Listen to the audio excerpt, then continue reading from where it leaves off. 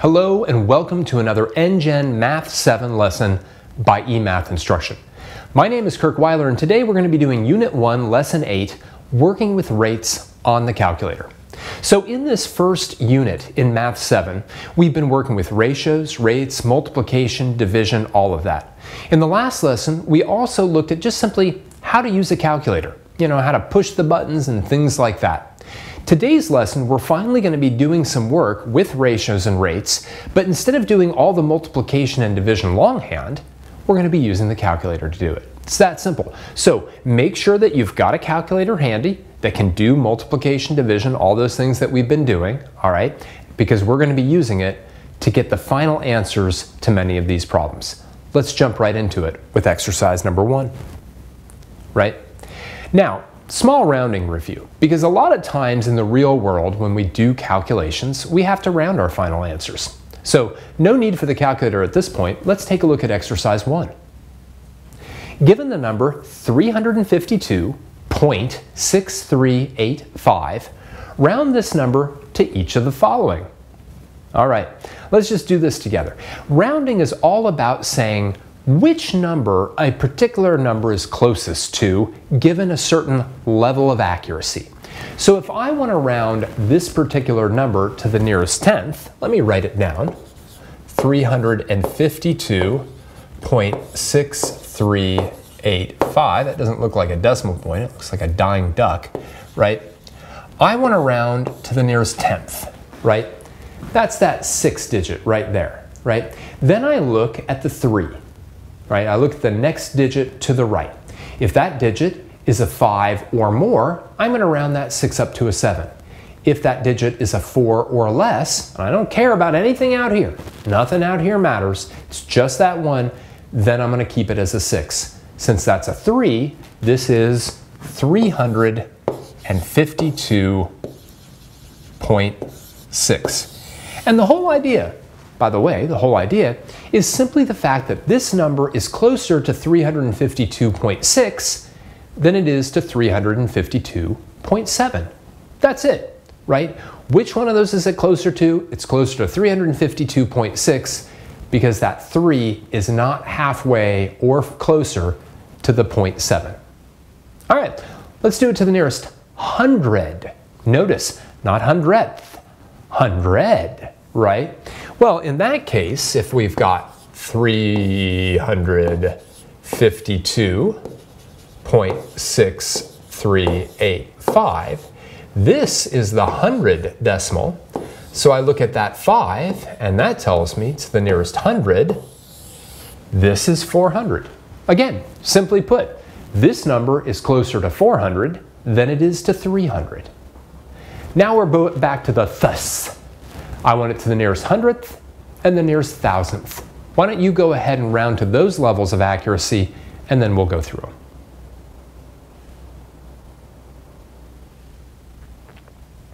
All right. Well, in a decimal, the first decimal places is tenths, then hundredths, then thousandths, then ten thousandths, then a hundred thousandths, then millionths, ten millionths, etc. So if I want to round to the nearest hundredth, right, the hundredth place is my 3, right? I look at the decimal place 1 afterwards, that's an 8. So that means I'm going to round this number to 352.64. Likewise, if I want to the nearest thousandth, let me get rid of all of that. Here is my thousandth place. I look at that 5, since that 5 is at 5 or above, I will now also round that up to 352.639. All right. So just a little bit of rounding review because we're going to see some rounding in this particular lesson and we're certainly going to see some rounding throughout this year. All right. So let's keep going calculators with messy rate problems. All right, now we're gonna bring out the calculator when we need it. It's sitting down below here for right now. Make sure you have yours handy. Let's take a look at exercise number two. At a gas station, gasoline costs $3.39 or 3.39 per gallon. Laura puts 14.38 gallons of gasoline into her car. Give an expression for how much Laura spends on gas. Evaluate this expression on your calculator. Give all decimals. All right, so this is simple enough. We have a rate, 3.39 per gallon. We have a number of gallons, 14.38 gallons. When we find their product, that's going to tell us how many dollars we have. So it's simple enough, right? Our actual expression will be 3.39 per gallon times 14.38 gallons. All right, that's our expression. Now, in previous courses and previous lessons, you would have done this product longhand, and it would have taken a while. But now, with our graphing calculator, sorry, just with our calculator, we can now just say, well, I've got 3.39 times 14.38, enter. That's going to be 48.7482. All right. Now, letter B, right? This is our, our product. Letter B asks, what should you round your answer in A to and why? So I want you to think about this a little bit, right? My final answer, right, is 48.7482, but I shouldn't leave it that way. What should I round it to? Pause the video for a moment and write down what you think is the correct level of rounding.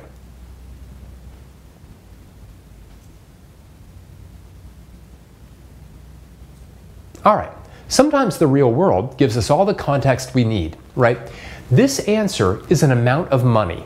And obviously, we should never let an amount of money have more than two decimal places, at least in our system, right? Because we're talking about dollars and cents. We don't have $48 and 74 cents and another 82, whatever that would be, right? So we should round to the nearest hundredth because it's money right? And specifically, we should say that is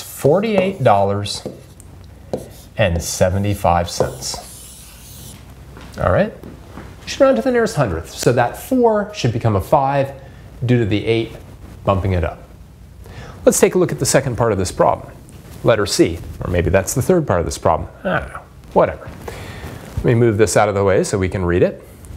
Letter C says Georgina filled up her car at a different gas station and saw the following readout. In other words, the total sale was $49.38 and she got 13.642 gallons of gas. How much did the gas cost in dollars per gallon that Georgina put in her car? Show the calculation you used and round to an appropriate level. All right. Well, now we want to know the dollars per gallon. Right now we're looking for a ratio, dollars per gallon. Specifically, we're looking at 49.38 dollars divided by 13.642 gallons. Now this would be a beast to do by hand, but on the calculator it should end up being quite simple. Let's just bring our calculator up. And let's do 49.38 divided by 13.642, enter, and we get this ugliness, like 3.6197, etc. Now let's talk about this just for a second. Okay, so what, what did we find? We actually found the price per gallon, specifically the dollars per one gallon. So what we want to do is, again, we want to round this to the nearest hundredth. Specifically, what we're going to say is that this is $3.62 per gallon. $3.62 per gallon. Let's take a look at letter D. Let's see what that thing says. Georgina's car can drive 34.5 miles per gallon of gasoline it uses. How far to the nearest mile can Georgina drive on the gasoline she put in her car? All right, what I'd like you to do is think about this problem. Set up a calculation, whether that's a product, quotient, a sum, a difference, whatever you think is correct, and then try to come up with the number of miles that Georgina can drive. Use your calculator to do any of the messy calculations, all right? And it looks like round it to the nearest mile. Take a few minutes to do that.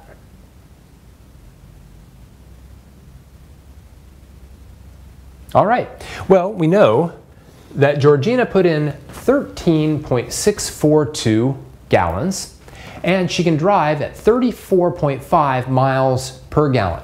So there's our rate, 34.5 miles for every gallon of gas we have. We have 13.642 gallons, so it's going to be a product. Specifically, we're going to have, eh, let's do this, 34.5 miles per gallon times 13.642 gallons. That's just how much she put in. Now, of course, we're going to let our calculator do the messy work here. Let's clear out that last calculation. We're going to have 34.5 miles per gallon times 13.642 gallons. Enter, and we get 470.649 miles. It asks us to round to the nearest mile. Since that 6 is bigger than a 5, we get 471 miles. And that's a reasonable amount to round to. It would be kind of silly if we kept all those decimal places. Again, the real math here is actually understanding that it should be a product, right? The calculator then evaluates that product for us, which makes our lives a lot easier. All right, let's wrap this up. Oh, actually, no, we've got some more. We've got some more problems to do. I don't know why I thought that was the end. Let's take a look at exercise number three. Zeke is trying to determine the weight of 52 gallons of water in his fish tank. He takes a 5 gallon bucket that weighs 1.81 pounds when empty and fills it with 5 gallons of water. The total weight of the bucket and the water is 43.56 pounds. Using the information given, what is the weight of water in pounds per gallon? All right, so we'd like to just figure out how much does a gallon of water weigh, right? And of course, the way that we can do that is figuring out how much, you know, five gallons of water weighs and then dividing it by 5. Now, one of the problems is the total weight of the bucket in the water is 43.56 pounds. So first thing we need to know is just how much does the water weigh? And to do that, we have to get rid of the 1.81 pounds that the bucket weighs. Now that's simple enough, right? We can just do 43.56 minus 1.81. We could certainly do that by hand, but you know, kind of the point here is we've got the calculator. So we've got 43. Uh-oh, that's not what I want. Yeah, let's trash that. 43.56 minus 1.81, enter, and 41.75 is the weight of the water. So we have 41.75 pounds of water. Now what we want to do is we want to divide that by the fact that we have four, we have five gallons of water, right? So this isn't 41.75 pounds of water per gallon. That would be very heavy water. This is 41.75 pounds of water for five gallons of water, right? So we're now going to do 41.75 divided by 5. And of course, what we're getting here is a unit rate. Let me just do a little line like this. Let me move this out here. So what we've got is 41.75 divided by 5. And that tells us that the weight of water is 8.3 pounds pounds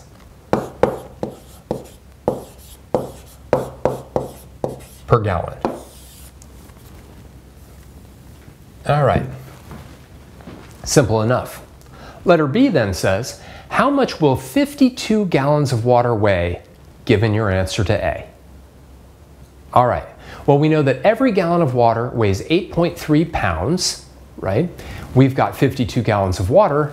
Why don't you go ahead and write down a calculation, actually write down what calculation you're going to use, and then find out how many pounds that 52 gallons of water will weigh.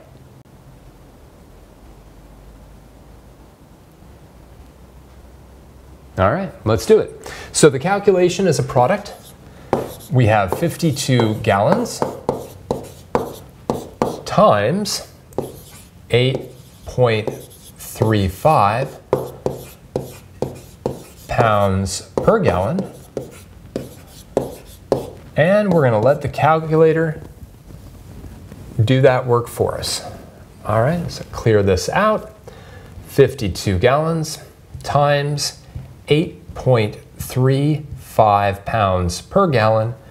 Enter gives us 434.2 pounds. Pretty heavy.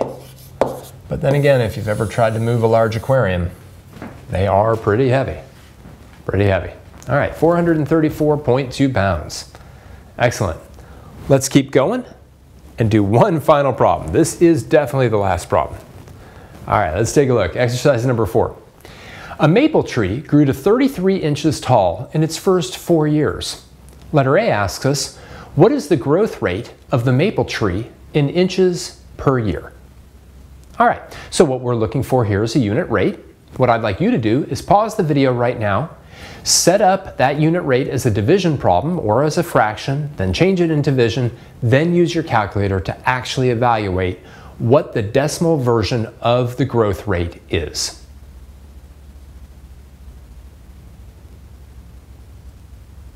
All right, we've got 33 inches per four years. So literally, 33 inches per four years. Now, to actually figure out what that is though, we're gonna bring our calculator up clear it on out. 33, if this was a nice number like 32 divided by 4, fine. But 33 divided by 4 is a little bit of an uglier number. And in fact, it ends up being 8.25 inches per year, our unit rate. The tree is growing 8.25 inches for every year. Letter B. If the maple tree grows at this rate for an additional, how many years? I don't know, the calculator's covering it up. Grows for an additional 20 years, will it be taller than 15 feet? Show the calculations that you use to find your answer. Now, this can be a little tricky. So I'd like you to spend a bit of time thinking about this. You have everything that you need, just one little hint. Don't forget right, that it's 33 inches tall after the first four years, and now it's going to grow an additional 20 years. Pause the video now and see if this tree is taller than 15 feet.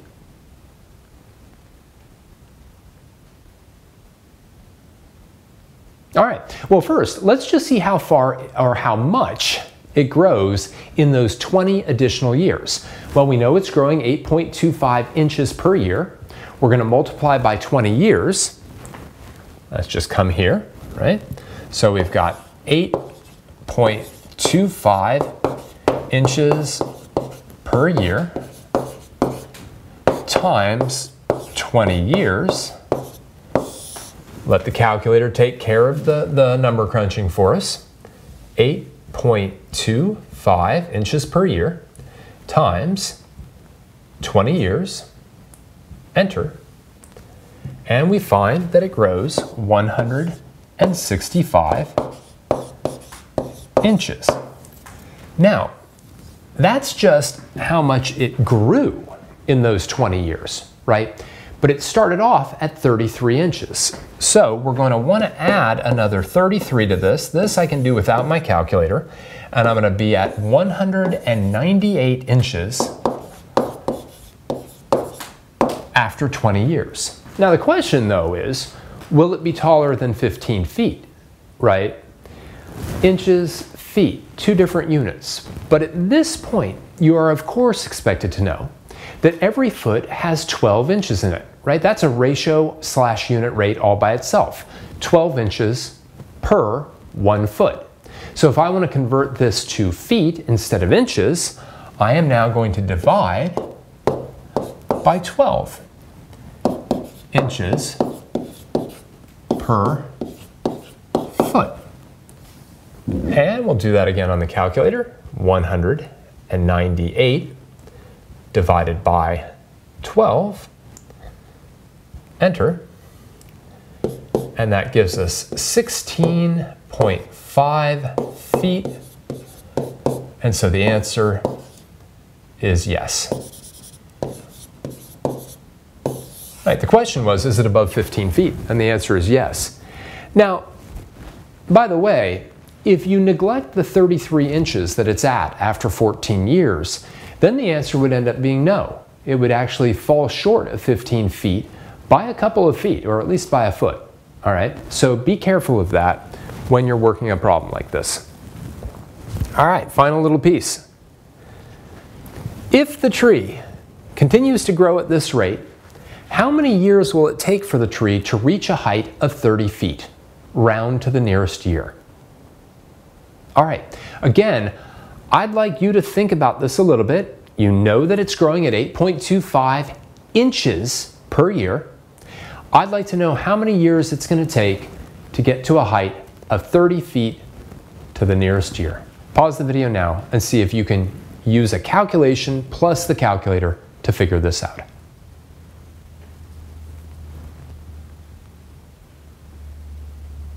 All right, well, because we have this mismatch in units, the first thing I wanna do is figure out what 30 feet is in terms of inches. And that's of course quite simple, right? All I have to do, take my calculator, 30 feet times 12 inches, enter. So 30 feet equals 360 inches. So what I really wanna know is how long it's going to take for this tree to grow to 360 inches. Well, we know that it grows at 8.25 inches per year. So the calculation I need is 360 inches divided by 8.25 inches per year. And again, on the calculator, let's see what we've got. 360 divided by 8.25. Enter. That gives us 43.636, etc. And to the nearest year, that'll be 44 years. All right, 44 years. So if you got that, fantastic. It, get, it means you've got a good sense for units, a good sense for dividing by a rate to find some kind of a total, and you have a good start on how to use the calculator as well. Let's wrap this up. All right, maybe get my calculator out of there. So today what we did is we looped back and we worked with ratios and rates yet again, mostly rates, but we used the calculator to do all the messy things, to do the division, the multiplication, especially when it came to decimals that made life a lot, lot easier. All right. Mostly what we wanted to do was get practice on the ideas that are involved in rates and also on how to use the calculator. All right, we're going to do a lot more of this as we go into further units in this course. For now, I just want to thank you for joining me for another NGen Math 7 lesson by eMath Instruction. My name is Kirk Weiler, and as always, keep thinking and keep solving problems.